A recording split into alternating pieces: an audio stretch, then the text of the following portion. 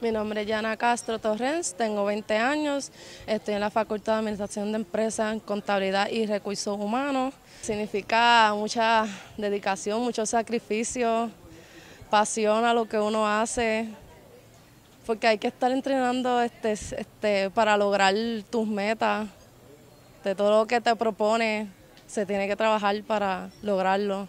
Yo espero poder ganar otra vez la medalla de oro y sé que lo voy a lograr trabajando fuerte como he hecho hasta ahora.